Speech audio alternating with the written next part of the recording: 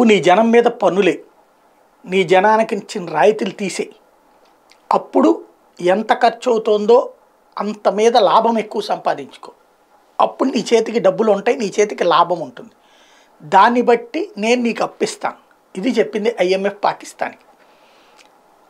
లేదండి మాకు తప్పదు వెనుకబడిన దేశం కాబట్టి అని చెప్పి పాకిస్తాన్ చెప్పింది. అట్లయితే తప్పదు మేము కూడా నీకు అప్పు ఇవ్వలేమని చెప్పింది ఐఎంఎఫ్ ఆరున్నర బిలియన్ డాలర్లు శాంక్షన్ అయినా ఇవ్వకుండా ఆపేసింది.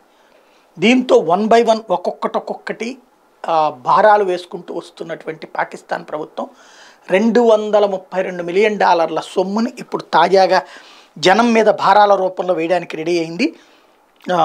కరెంట్ ఛార్జీల్ని భారీగా పెంచడానికి నిర్ణయించుకుంది.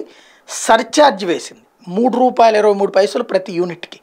సర్ఛార్జ్ అంటే రెగ్యులర్గా ఇప్పుడు ఉన్నటువంటి కరెంట్ కాస్ట్ అక్కడ పదిహేను రూపాయలు ఉంది దాని మీదన మూడు రూపాయలు ఇరవై మూడు పైసలు వేసింది. అంటే పద్దెనిమిదిన్నర రూపాయలు కమర్షియల్ డొమెస్టిక్ వచ్చేటప్పటికి పన్నెండు రూపాయల దాకా పడుతోంది. అంటే భారీ ఎత్తున యూనిట్ కాస్ట్ పన్నెండు రూపాయల నుంచి పద్దెనిమిదిన్నర రూపాయల దాకా ప్రజల మీద వసూలు చేయబోతోంది. ఇప్పటికే పరిశ్రమలు మూసేశారు. ఇతర దేశాల వాళ్ళందరూ కూడా వ్యాపారాలు మానేశారు. అక్కడ ఉన్నటువంటి సంస్థలు పక్కకు వెళ్ళిపోతున్నాయి. అలాంటి దశలో ఈ తాజా బాధుడు మరి పాకిస్తాన్ని ముంచడానికో తేల్చడానికో తేలాలి.